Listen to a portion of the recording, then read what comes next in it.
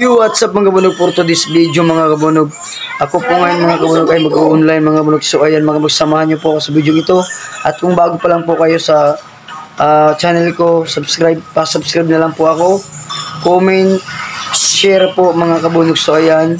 Ah, at siyempre mga kabunog para update po, po, po kayo sa aking video.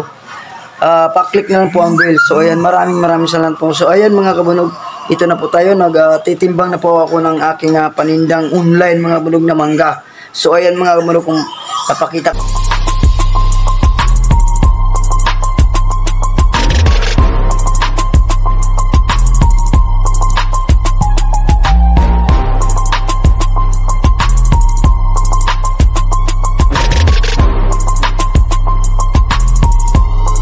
na nag nag at titimbang na po siya mga kabunog. So ayan.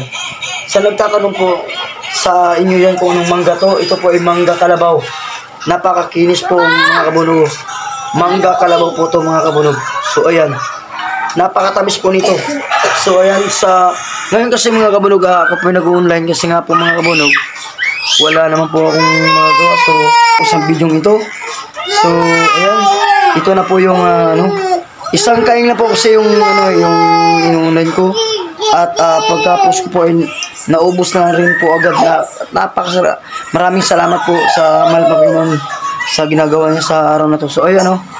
Yan. Yan. Yan po. Nabalot na po yung iba. So ayan. Ah, inaantay ko na lang po ang aking misis sa pagbabalot. Ayan o. Inaantay ko na lang po siya.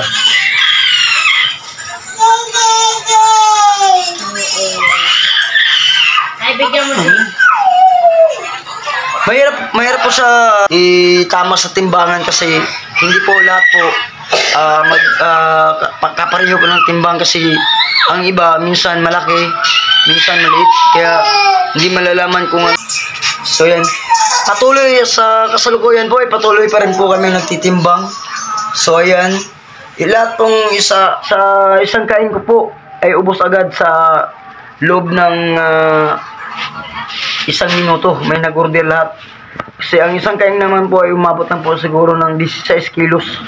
Kasi sa isang kain kasi, dapat 17 pero may resay ko pa po kasi yun kaya ganun po. Ang manggang ito, napakatamis po. Yan, oh. Ang tamis po niyan. Tamis. Hmm. Tamis. Tamis po niyan. Yan. Ay, nalaglag. Basto. Yan o. Patuloy, tuloy pa rin pong may nag-order pero hindi po namin alam kung ah, mabigyan pa namin to kasi isang kain lang po yung nabili ko kanina kasi nga po talagang medyo mataas kasi, kasi rin pong ano hindi ko po nakayanan kulang yung budget ko so hindi na sa ano sa nag-order na hindi mabibigyan so pasensya na po kayo huwag po kayong mag-alala bukas available po to uli so ayan Oo. Yan nga po mahirap talaga po timbangin kasi meron po kasi talagang ano. So ayan oh. Hmm.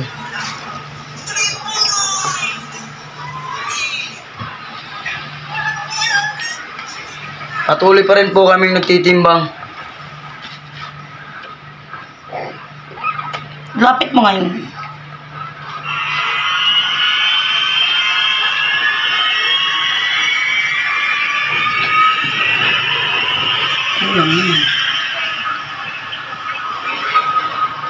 Meron po rin pong ah, siguro may tatlo lang sa isang plastic. Sa loob ng isang kilo, ano lang may tatlo. Meron nagbibilang tayo kung ilang ah, ilang balot na to kasi baka mag-short tayo eh. Binibilang ko po ko talaga kasi to. So ayan. Ah, isa, dalawa, tatlo, apat, lima, anim. Siyam pa lang to, siyam pa lang. Siyam pa lang. May may may tag may dalawang kilo na nag-order. Nakiluhan mo na ba yung dalawa na tag dalawang kilo? Ito na nga eh. Simulan anuhin mo lang. So, ayan. Isigurado mo talaga kasi para ma mamaya 60 yun, di ba? So ayaw kasi yung Saktong 160 yun, di ba? ayaw kasi yung mga kabunog namin magre-reklamo mga kabunog eh, kasi mahirap kasi din namin magreklamo masisira rin po tayo sa ating mga customer. So ayan. Mas maganda talaga mga kabunog kasi na hindi na kasi baling ah, magsubra ng ah, kahit dalawang piso or isang isang piso kasi hindi na baling ganun. Huwag lang magkulang kasi meron talagang iba na naninigurado. Siyempre siguro kung katulad din natin di ba? Naninigurado din po talaga tayo. Kailangan hindi na baling magsubra huwag lang magkulang. So meron kasing iba na may timbangan din eh. May timbangan din po sila. So ayan. Kaya sinisigurado ko talaga na hindi po kami masira. Kaya mura lang din naman tong bintahan namin. Kasi hindi naman kailangan ng malakas yung ah, patong. Importante kumikita ka kahit papano. So ayan. 166 talaga. di ba? May ganyan talaga po talaga na ano na kasi yung mga customer na iba nag reklamo eh. So ayan So ayan mga kabunog habang nag-aantay tayo sa pagbabalot ng misis. Mag-shoutout po tayo. Shoutout po pala kay parang Boy Takla dyan sa may 176 Lata 22. Bisatahan niyo po ang kanyang negosyo dyan na baboy manok. Lahat po ng ah, mga karni dyan ay laging ah, bago. At saka doon po kay uh, Castrudis, yan. Dyan sa lot 30, ah, lot 3, lot 4. Mm, maraming maraming salamat po sa iyo. Bye. Isitahin rin po ang kanyang bikiri dyan at laging bago rin po ang kanyang mga paninda na tinapay kasi lagi pong ubos yan. So ayan. Shoutout rin po pala kay Lisa Dosaban Vlog at, kay GBM Vlogs. Yo ayan. Maraming maraming salamat po sa inyo sa pagsuporta mo sa aking mga video. So ayan, comment mo. Maraming salamat po. At sa mga hindi pa po nakapag-subscribe sa aking ah, channel at na hindi pa nakapag-follow sa aking Facebook page. Mag-follow na rin po kayo at i-subscribe na rin po ninyo ang aking ah, YouTube channel. At siyempre, like, comment, and share. So, ayan kasi ang pag-share po ay lagi maraming, ah, malaki pong bagay po yan sa aking mga video. So, ayan.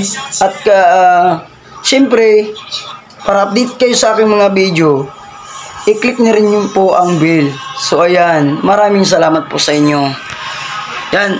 ah, malapit na po kami matapos magbabalot. So, ayan. Malapit na po ma- matapos ang aking misis pagbabalot. mo na nga lang dyan, Oh, Jeep. Pagsamahin mo na lang yung dalawang kilo dyan. Oo. Pagsamahin mo na lang. Oh. Alin? Yung dalawang kilo? Doon. Doon? Alin dito? Magkalap ka dyan ano, ipag, iganyan mo, oh, dalawang kilo yan. Oh, yan. Kasi kung iaano ko ngayon yan, Ayan. Ganyan na lang.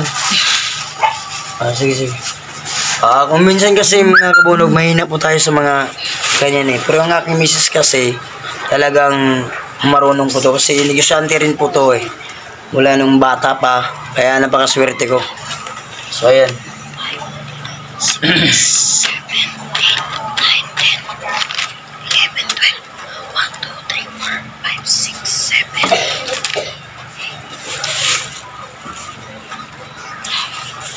So, ayan. Binilang-bilang pa namin. So, ayan.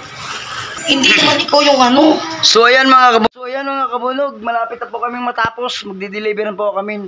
Nahirapan po talaga kami sa tutulang, may, nahirapan po talaga kami magtimbang. Kasi kung yung iba kasi hindi po talaga maabot sa isang kilo kasi nga po hindi po natin mano. Kasi kapag isakto natin, hindi talaga masakto eh. Sobra ng malaki kaya wag naman ganun. Hindi na kaling ah, gagawin namin lang, ginawa lang namin kung anong aabutin sa tatlong piraso, yun lang po i- bibigyan, nilagay lang po namin ng Anong ilan na presyo. So, ayan. 9 na to, 10, 11.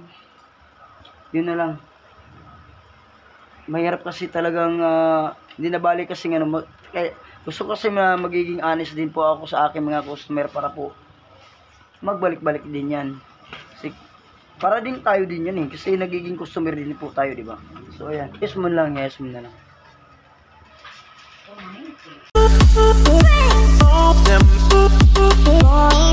Oh,